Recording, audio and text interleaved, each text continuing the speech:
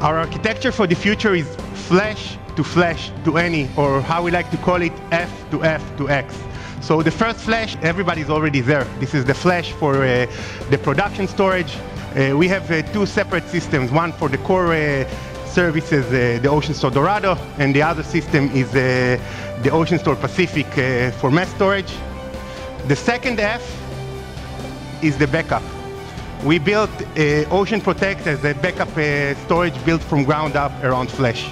Next, there is uh, obviously we need to archive and tier our data, and this is the X, the any. We can tier to anything, any media, hard drive, uh, or a Blu-ray, or to the cloud.